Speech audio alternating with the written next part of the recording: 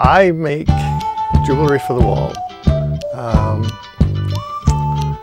miniature metal landscapes. I don't know how else to describe them.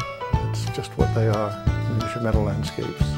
I first did these seriously in about 2008, so nine years. That's when I started taking it from the simple three-layer jewelry realm up to 6, 8, 10, 12, 14 layers.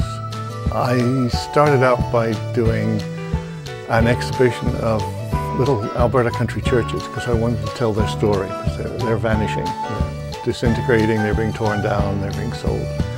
So I wanted to tell their stories and realized that by doing these pieces I can tell a little story of, of the place, of um, the fabulous skies, the wind in the trees, the people who built it.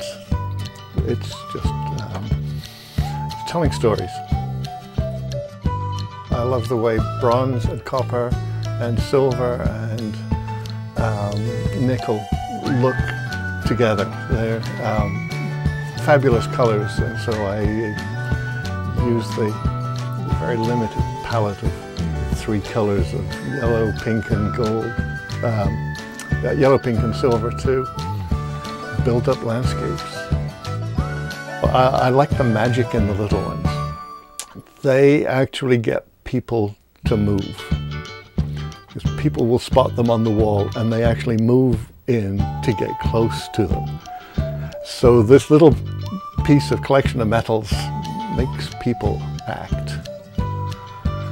And I love the fact that they move in until the piece fills their, their vision.